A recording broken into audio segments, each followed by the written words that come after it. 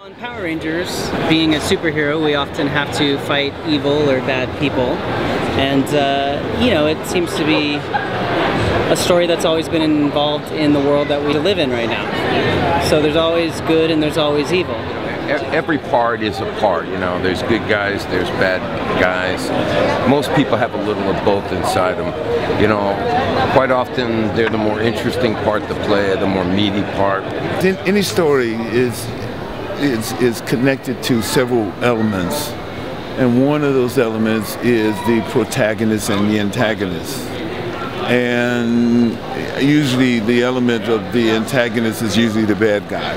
But in anyway, I never look at as, as, a, as someone entering uh, or accepting a role and beginning to work and developing a role I never think of it from the standpoint of being good or bad. Well, all of my pictures are a dialectic. Uh, it's, it's good versus evil. Uh, that's positive versus negative.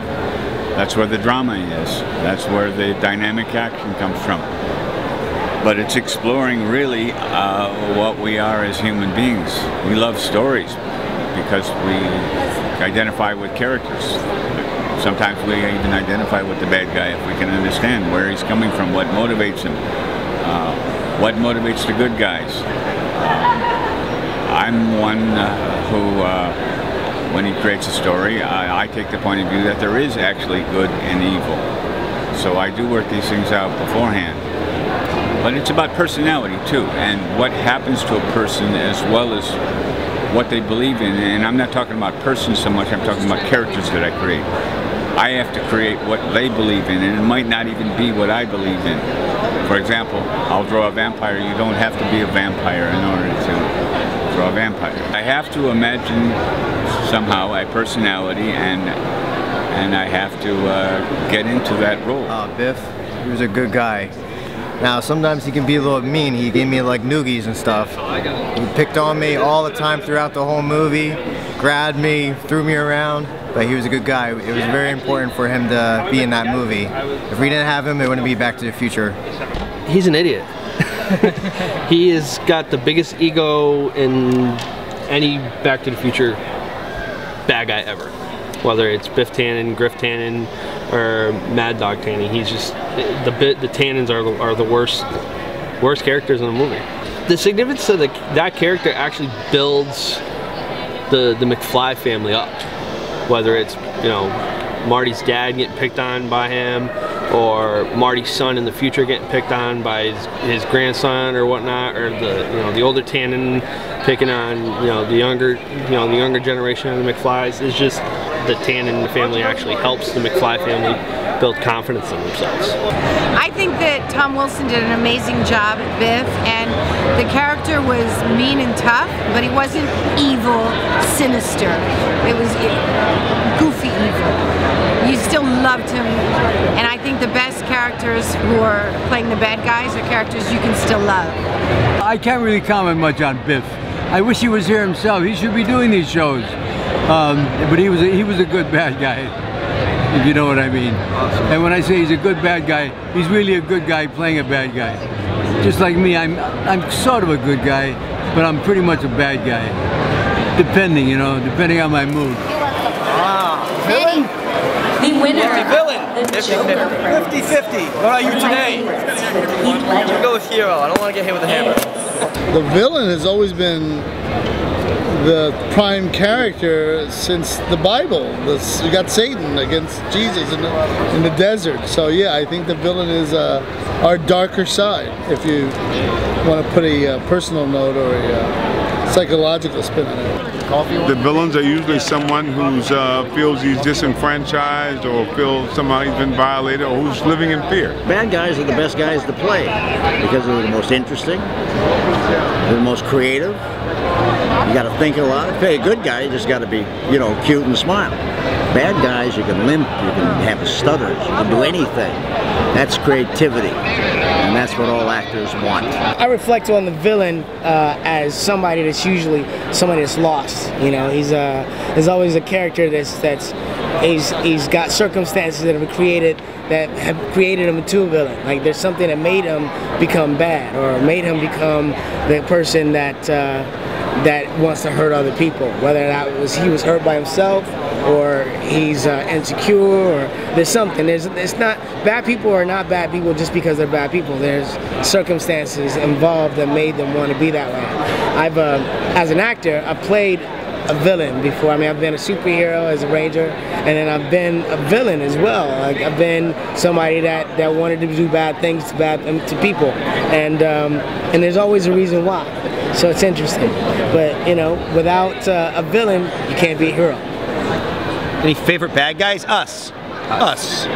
Yeah, my favorite bad guys are Bulk and Skull. Yeah. In season one and two. Yeah. As long as there's humor and there's uh, Once again, Amy Butt and Thomas Gilliran. Please Hey, I'm talking here. Shut up.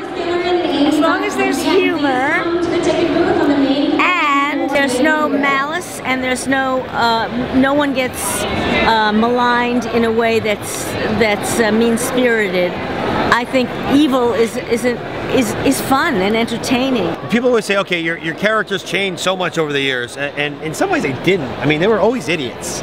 I think. I mean, their super objective changed from being bullies to, uh, you know, junior detectives and detectives and police and stuff like that. But I think overall, the characters didn't change. No, not really. They just wanted to be loved. That's all they wanted. And that's maybe that's what it was. The first season, you didn't realize that aggression was a cry for attention and love. Absolutely.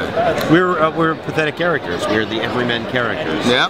Everyman, everyman characters. So we are. The, that's the thing about comedy, though. I mean, you know, good slapstick comedy is supposed to be kind of like the average, uh, you know, schmo can't get a leg up on the world, and so they do things that are stupid, and it usually backfires. Right? That, yeah, that's true. Yeah. I mean, um, I think the characters definitely evolved into something more than they were originally, simply by uh, virtue of the long period of time that we spent playing them. Yeah. You know, because face it, if we wouldn't have been able to evolve the characters, I mean, certainly we would have said, "Go fuck yourself." Yeah, we would have said that. And, and quit. And I mean, quit, oh, yeah. So No, I agree. It made it interesting. Yeah. So we didn't tell anyone to fuck themselves and quit. Right. So. Yeah. I'm Simon Fisher-Becker, better known to many of you as Dorium Maldovar from Doctor Who. And for those of you who don't know what I look like, that's me. and people are very um, wary of Dorium because they're not too sure whether he's a goodie or a baddie. I think that he's a bad goodie. In that deep down, he's probably got some soul inside him, but he works in the murky side of society.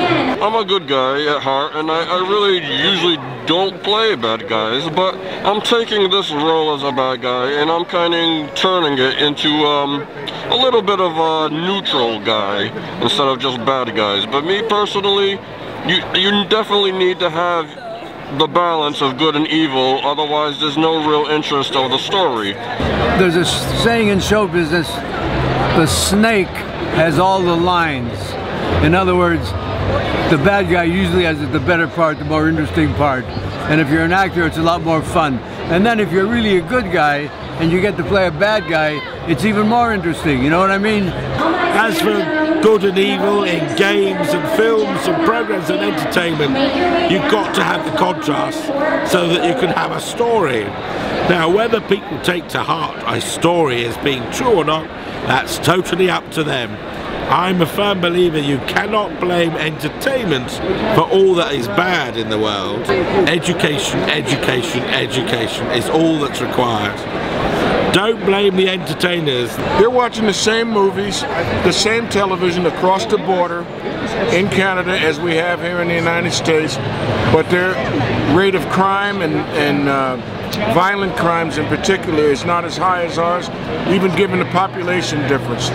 So it must be something about the Canadian culture that grounds them and makes them uh, more solid through life as opposed to uh, our own culture. And I love my country, don't get me wrong, but let's face it, in light of the shootings that we've had recently, most recently is yesterday in LAX, the airport, I got a grand, I got a son who lives in Los Angeles, is a filmmaker, and he has to travel quite a bit. So of course, I'm concerned. As a grandfather, I'm concerned. It's um, it's a cultural difference, I believe. We this is a culture we got to remember. We came out of the old west, you know. Uh, I think it still carries over to today. The proliferation of guns, etc. It's not a good thing. You know, during World War II, we had more patriotism. The comic book heroes showed it, the people showed it, and we don't see it today. So sad, so sad that the patriotism we had here in the United States, the greatest country in the world, has gone to into a position where we are so divided that I want to cry. During the Second World War, we were united. And united we stand, divided we fall. That was a slogan in the 40s. So I still have hope that this country will come together. Hopefully, in real life, we can learn to let go of evil and let go of bad and let go of fear, let go of war, let go of the need to dominate, uh, let go of greed, and uh, just really embrace who we really are and understand that we're all equal and that we all have a right to be on this planet together and live in harmony. I'm just awesome. Look at kinda, me. We're kind of just like dicks. Yeah, I'm just amazing is what I am. if you know this, like, it's on my card. It says uh, Deadpool amazing. Dick. and then it's got a picture of my face because people love my face. Yeah, it's very You be spicy. quiet. I'm not gonna be quiet. Don't talk about my face. It makes me cry. The boils and everything. you got- gross. Look, it, it, the healing factor's not perfect, but it works better than yours. Is this about the eye again? Is it? about the eye yeah, again, you one-eyed freak. You're like a pirate. Arg! Look at you. arg. Is it a, a really well-armed pirate who looks a little bit like me, and that's why people like them. Yeah, whatever. And after playing good guys for years and years, you know, with Good Times and the other series, I finally got to play what a lot of people perceived as a bad guy in Die Hard 2. When we flipped the script, when my character cut the throat of the young soldier, there was an audible gasp from the audience because it's the first time they've seen JJ's daddy do anything of that nature. And I did play the bad guy in there, but I told people I was not a bad guy. I was a misguided patriot. But it was a lot of fun playing something that the audience didn't anticipate and hearing their reaction. It can be fun, and as an actor, I want to be as diversified as possible. Good guy, bad guy, in between, everything. I love cosplaying as villains because it lets me be dark and creepy and evil and because I'm actually cute like a little kitten and really sweet so I get to bring out my dark side and be a little bit angry. watching movies and watching the villains and being the villain, it's just like I don't know. There's just something so like dark and like enticing about it. You know what I mean? It's always my favorite role. There's always uh, my favorite characters are always the villain. I don't know, and, and there's something about like I, I had a tough time growing up, and so like there's something about being the guy no one likes that is just attractive to me. The best villains think they're heroes, so you need to have somebody who's relatable, has something you can kind of agree with. Tends to be a little more believable when you're the villain. Antiquated senses of justice and morality just don't cut it anymore. I think sometimes people like to emulate characters that are in films or in television. So if there's evil or bad guys on television or film, sometimes kids or other people can emulate it and think that that's cool. Um, I think we should emulate good guys. For an actor, a bad guy is is is a you know it's just plainly more fun. It's more fun to play a bad guy. You get to reach down into places that you don't get to do in life, and uh, um, you know, bad guys are are uh, they're just more exciting for an actor to play. Uh, I don't think Goldar is a traditional bad guy, even though he's, you know, I think Goldar is actually more of a caricature as opposed to, uh, you know, a, a, a true blue bad guy, even though he was badder in the beginning, which I preferred. Um, then he got a little goofy, which, you know, I got to roll with it. But you know, you got to have a bad guy. It's it's it's it's standard storytelling. You know, I mean, where do you go with all good good guys? People knew me during that first show as someone who was pretty manipulative, uh, and I guess I'd use the word evil. And uh, it's not how I treat people in real life. It's not uh, who I am, What it is how I would play that game to win, and did. So you know, uh, evil is really about perception, and reality television, uh, unscripted drama, if you will, is kind of a, peek into who we are as people. And you can ask yourself, how would you play? What would you do? What are your limits? How would you work within the rules of that game, like you would in football or chess? You're not going to tell your opponent what you're doing. I just think there are so many more levels to a bad guy. Don't you? You know, he's struggling with so many things, uh, internal things, and pain, and anger, and all of those things that we, you know, in this life, we, to whatever degree, we're all struggling with those things. Society insists that we pat those down, that we don't don't you know you're so angry you need anger management this that the other and you know so a true badass you know i mean look at the penguin in in batman and the joker i mean they're complex complicated characters for an actor there's a lot more you get to play a good guy i mean how much do you get to play as a good guy? Let me see, good and evil. Well, you know, uh, the way I portray them, uh, I found by doing the Santa character as both the good Santa, uh, where you know, basically he doesn't smoke, doesn't cuss, doesn't drink. I mean, he's a perfect example for children, and he's a kind and basically a very innocent and childlike fellow himself. Wise, but but still innocent. And um, and you know, and of course that character is loved and, uh, and a good example for children.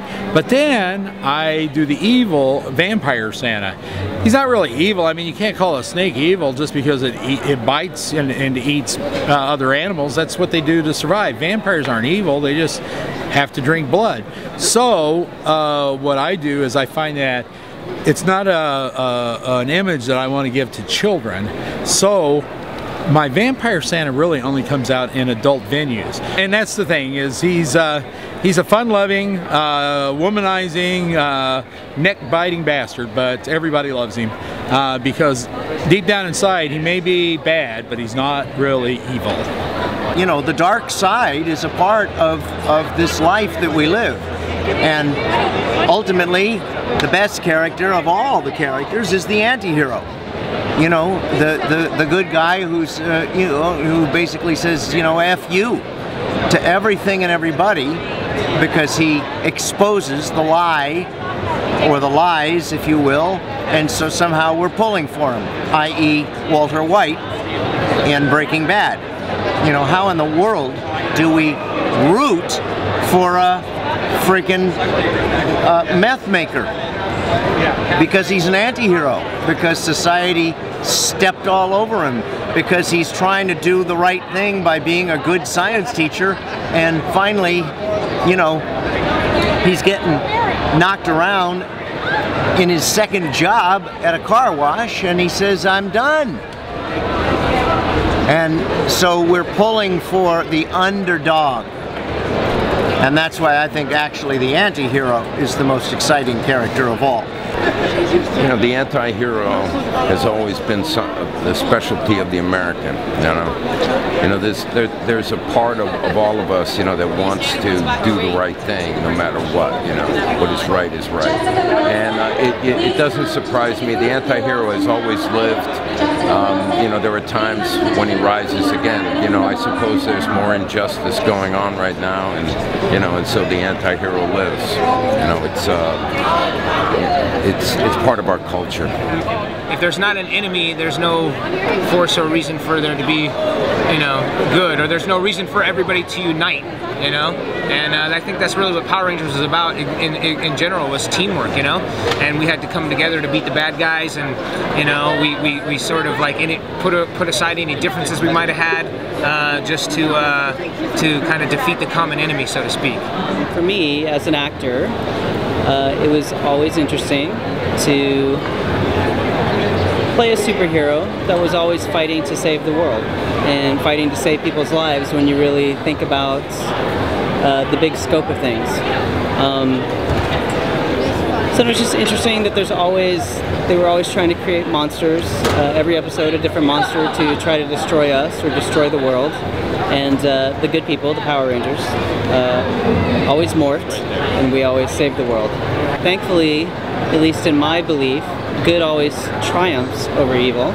So love will always win over fear. A character simply wants something or feels that they need something, you know, within the context of the story. And that happens. And the, sto- the story is, is always, for whether it's the protagonist or the antagonist, often has some sort of revelation. And the most important thing is the thing is, what is the revelation? What, what is the journey for e- either one of these two elements within the story? the comic book creator, if you're drawing and writing your own stuff, but even if you're just drawing your stuff, you're drawing your work, uh, you have to, it, for it to have soul, power, that's that certain magic that, that, that is conveyed in your art, and uh, that goes into the reader's head, and, and it comes to life in a certain way. Something of that magic that's in the movies where everything works and you feel like, wow, I really had a tremendous experience. That took me somewhere. That made me feel this and that. That that told me this this information or or made me realize how wondrous it is to be a human being. What what the human experience is, or you know, a, a piece of it, a picture of it. As far as playing the villain in Superman, you know, we did it to where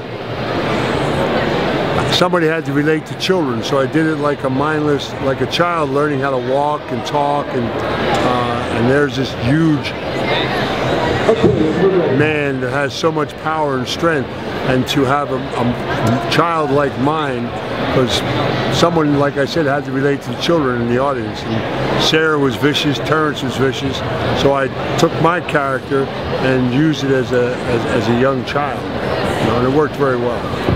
See, I, I, don't think you need to go dark, dark, dark to to portray uh, a villain or a bad guy. Everybody has their characteristics and walk down the street in life, and uh, the truism is much better for me than to try to make it so dark that uh, people get it's beyond belief. You know, and it depends on the on the on the script and stuff that you're doing as to where the character comes from, what he's supposed to be doing and where he's supposed to wind up. And to create a character that people can relate to with believability. Well, I like to put the heavy shadow on it. You know, I like to put that uh, a, a dramatic lighting. Uh, not that they're saying that they're evil or that they have a dark side. It's more just a dramatic pose and dramatic lighting, more for effect than uh, than the feeling itself. The Devil May Cry series, uh, the Sparda was a demon, shut off the devil world. Dante and Virgil are his sons. Virgil goes the dark way, ends up going with corruption and trying to take his father's power. Virgil does the bad shit. Dante turns around and is like, I have all of this power, I might as well make a buck off of it, and he does mercenary jobs. That doesn't make him a bad guy. It doesn't make, well, certainly doesn't make him a good guy. He's more or less just an asshole who gets money from the good guys for doing things that they can't. The enemy in this storyline is basically a fire that she has to face. There is no enemy, so you don't always have an enemy in a story. It could be other forces. I really liked dragons a lot as a kid, and I I never thought I knew they were supposed to be evil and bad, but I thought that. Um, I thought that they were more misunderstood. My idea of a dragon is this thing that has a lot of potential, like this infinite potential, and it could be powerful and scary, or it could be insanely cute and playful and fun and you know something that you want to hang out with and be friends with. It really depends on what side you're on and um, you know how far you're willing to go to understand something better.